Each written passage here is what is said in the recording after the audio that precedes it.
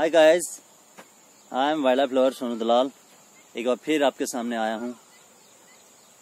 जो एक मैंने एक बर्ड्स रेस्क्यू किया था अपने गाँव से तो उसको यहाँ पे रिलीज़ करने के लिए आया हूँ। उसका नाम है ब्लैक ग्रेट बिटन बिटन जो प्रजाति है, उसमें सबसे बड़ा होता है, इसलिए इसको ग्रेट बिटन बोलते हैं।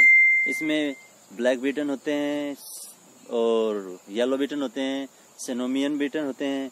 तो ये इसमें सबसे बड़ा है, जिसका नाम है ग्रेट बीटन तो वैसे तो ये हमारे मेहमान है मतलब विदेशों से आते हैं।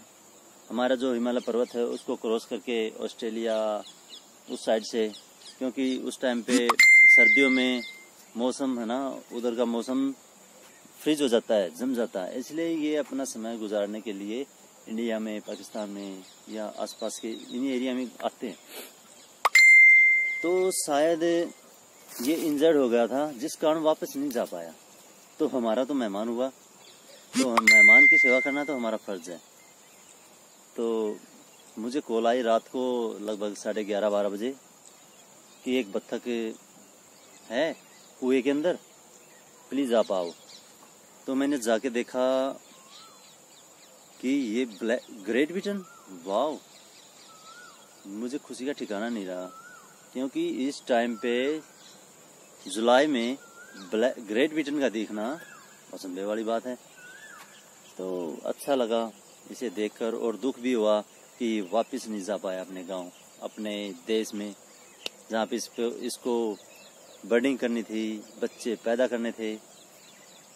तो अफसोस की बात तो है, लेकिन खुशी इस बात की है कि इसकी जान बच गई। तो अब इस डिब्बे में लेके आया हूँ। इसके अंदर है। तो ये अच्छा हैबिटेट है। बहुत ही अच्छा हैबिटेट है। इसमें रीड्स वगैरह हैं और वाटर, हर पूरे साल वाटर रहता है। तो अच्छा अच्छा हैबिटेट है।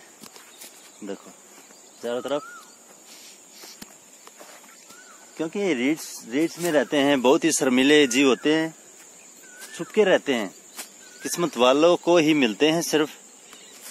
और मैं तो किस्मत वाला हूँ ही। तो इसको यहाँ पे इनको, इसको रिलीज़ कर देंगे, ताकि ये अपना आगे का जीवन अच्छे से जी सके। आशा यही है कि इसकी लंबी आयु हो, लंबा इसका जीवन हो खुशी खुशी ये अपना जीवन आगे का जीवन जी लें। तो उसको यहाँ पे रिलीज़ करेंगे अभी। देखो, बहुत ही अच्छी जगह है, बहुत ही शानदार। ये गवर्नमेंट के अंडर में आती है, जिस कारण यहाँ पे ना तो शिकार हो सकता है, ना ही कोई पेड़ कटेंगे, ना ही इसके अंदर घुस सकता है। तो शानदार जगह है, क्योंकि ये छुप, ये थोड़े छुपके रहते हैं। शर्मिले हैं। इसलिए इनके लिए रीड्स बहुत ही अच्छी जगह है। और पानी के नज़दीक भी रहते हैं, मछली वगैरह खाते हैं। तो इसको यहाँ पे छोड़ेंगे। ये है हमारा वो शर्मिला जीव। वाव। लेकिन ज़्यादा गुस्सा भी रखता है। लेकिन बहुत ही प्यारा, बहुत ही शानदार जीव है।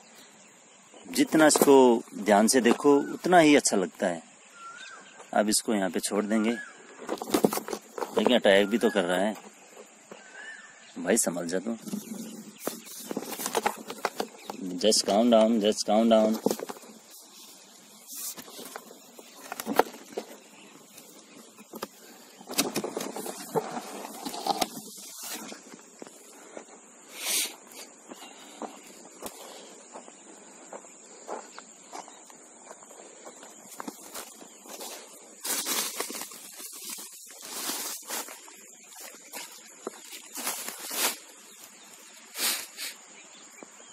ये पास में पानी बह रहा है।